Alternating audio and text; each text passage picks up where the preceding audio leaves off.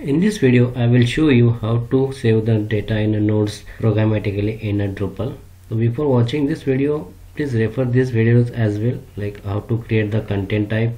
Next is the call REST API using get method and the call REST API using the post method. Because we are taking the reference of these videos, and in this video we have seen how to fetch the data from the third party website using the API and uh, that data was visible like this.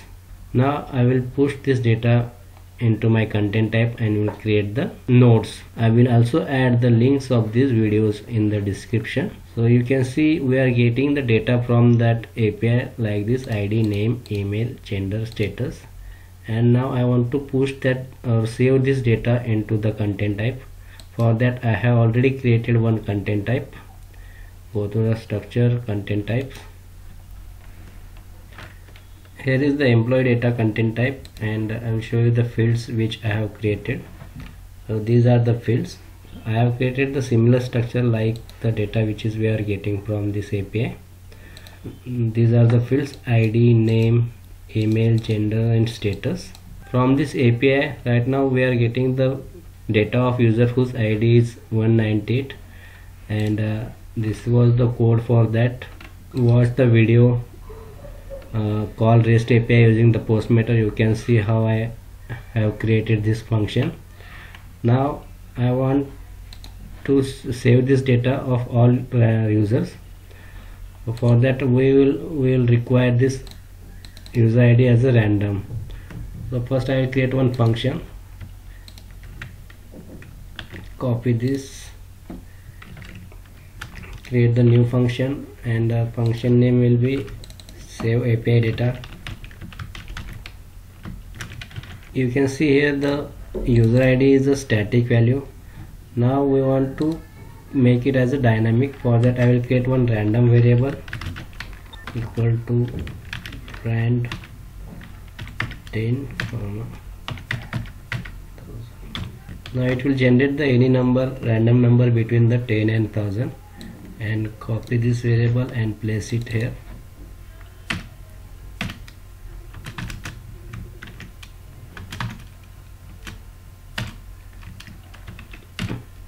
Now we will create the routing to access this function.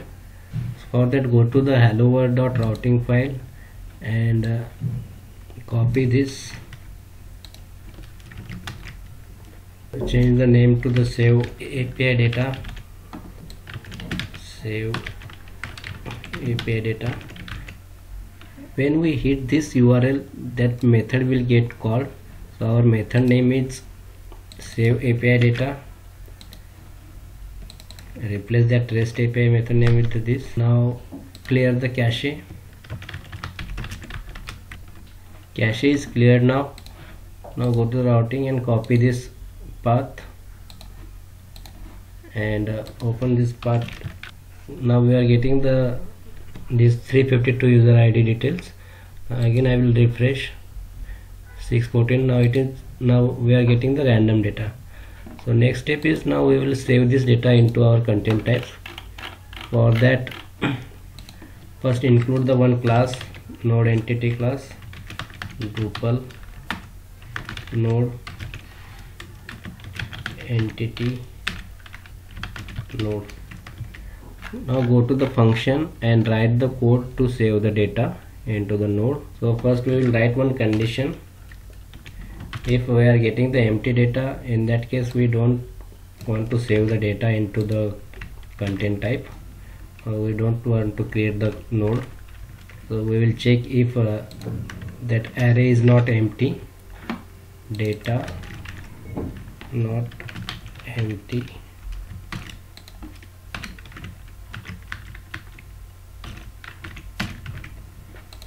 is the user.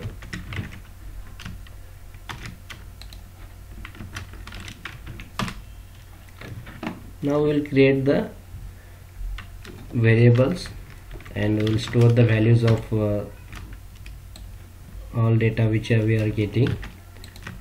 First parameter is the id we will get the id parameter value.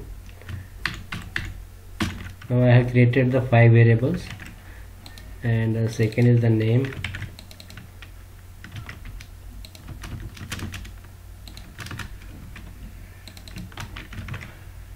Third is the email.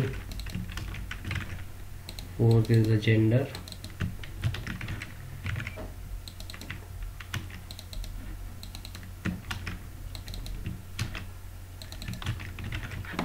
Last one is the status now we got the all variables value. The next step is save this data into the content type and create the nodes. For that create one more variable node and uh, call the object node object and the method create.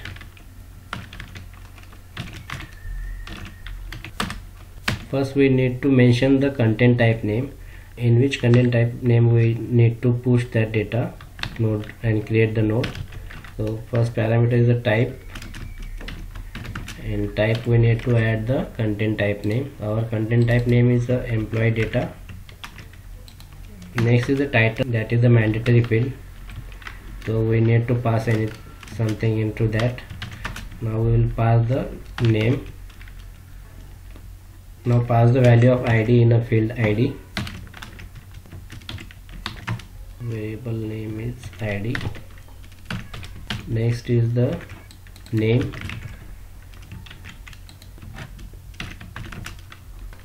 Dollar name. After that pass the value in a email field. Dollar email. Gender field underscore gender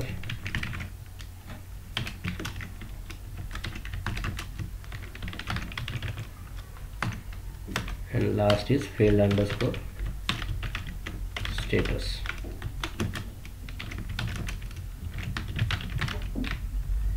One brace we miss here. Now to save this data into the node we need to call the save method node and the save method name now go to the page and see if it is we are able to save the data into the content type or not. So right now the you can see the name of that uh, user is rep kinchain we'll refresh here. If the data is inserted or not we can see here. So the data for for that user is inserted and the, this is the node created uh, I will edit this node. I will show you the data. These are the details inserted into the node. So one field is not uh, we are not able to capture the one field. We will check why. I think we missed something. Here we missed the spelling. It's a gender. Save it and uh, now again refresh this page. Now we will see that uh, this user is created or not. Again refresh this page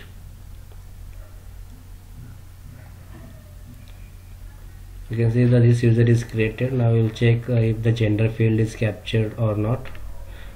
So we are getting the data for the gender as well. So in this way we can create the multiple nodes. Just refresh this page. It will create the these multiple nodes.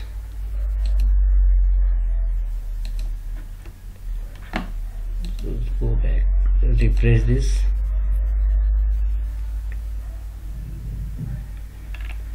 here you can see that we are now able to create the nodes programmatically in a Drupal. So this is the code to create the node. I will push this data on my github repository. You can refer that code. So I will add that uh, I will push this data into the this repository. I will add this link in that video description. I hope this video is useful for you. Please subscribe the channel and like the video. Thank you